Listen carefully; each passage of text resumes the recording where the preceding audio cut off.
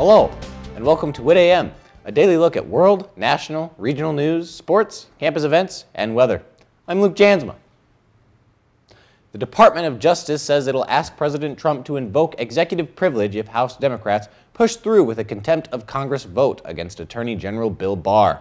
The House Judiciary Committee wants to see the full unredacted Mueller report.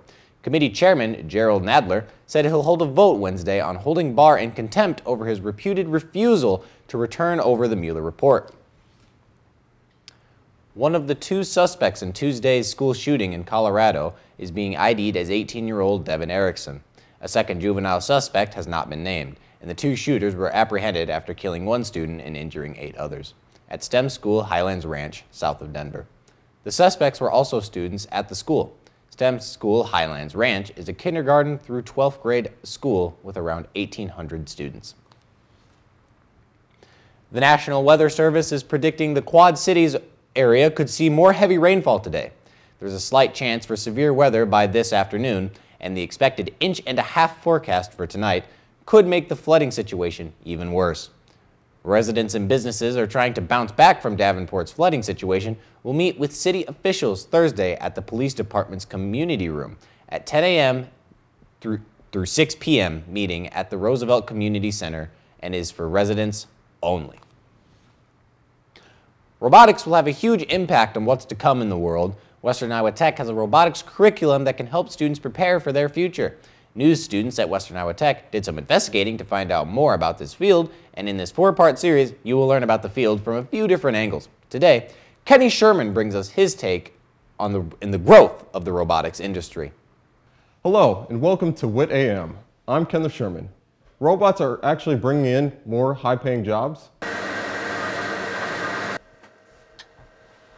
Roman Voyers is one of the many robotics students looking forward to finding a great paying job after he graduates. The robotics program at Western Iowa Tech Community College has seen a large increase of students getting high paying jobs right out the door. The robotics instructor of Western Iowa Tech, Dave McDonald, says the robotics industry is larger than ever and manufacturing companies are hiring right out of school. A lot of jobs. I mean, that's the only thing I say is there's just a lot of jobs. I mean, there's um, BPI is constantly hiring our students. I've got a lot of students out of BPI. I've got a lot of students at Tyson. Um, Wells has started in uh, hiring our students also. Um, just, it's, uh, the, the, the industry is booming. The rise of robots in the manufacturing world has actually increased the wages for workers. Robots has taken some jobs in the industry, but those have created more positions, which comes with a higher pay. Dave states that students have uh, continued to get the robotics degree will be more useful by companies. They're seeing that um, by completing that, getting that degree and getting the robotics part of it also, they're seeing more value and getting more money. Manufacturing companies are still in need for workers, so if you're interested in the robotic engineering program, you could head down to Western Iowa Tech to take a look at their uh, industrial programs. I'm Kenneth Sherman for WIT TV News. We'll be right back with a look at your WIT TV weather and entertainment news.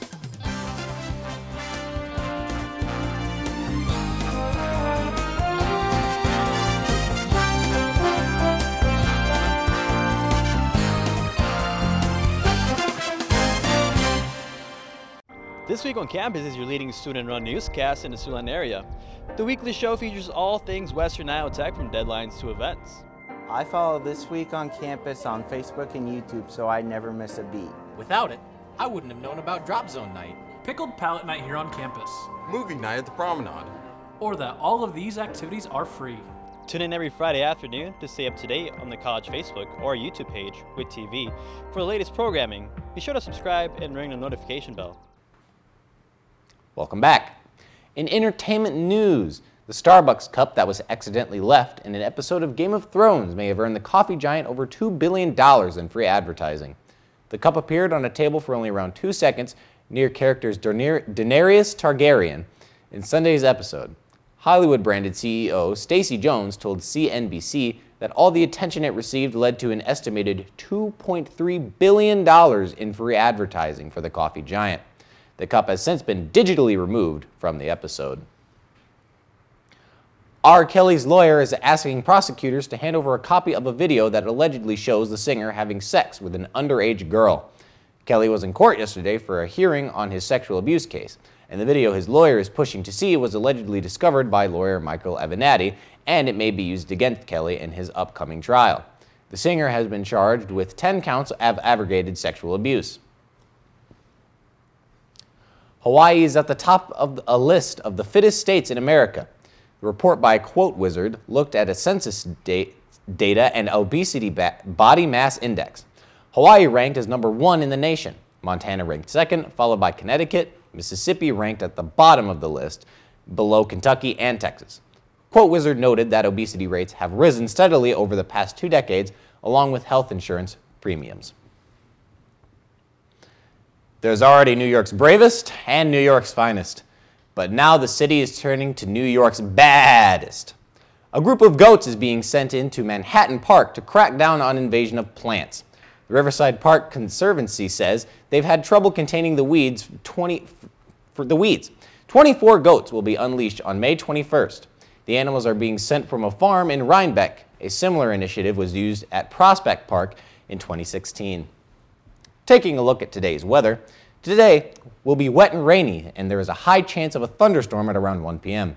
Temperature, temperatures will be just under 50 degrees with a slight wind. Rain accumulation will be around 1 and 3 and a fourth inches. Tonight, rain will continue to fall with temperatures falling as well. It'll be around 37 degrees tonight with 15 mile per hour winds that and the storm will settle in the later hours of the day. Rain accumulation will be around a quarter of an inch. Tomorrow, We'll, be, we'll begin with cloudy skies that will gradually part throughout the day, and the high is 53 with light winds. Thanks for joining us. Check out, be sure to check out our YouTube page, WIT TV, and be sure to like and subscribe. We'll see you tomorrow.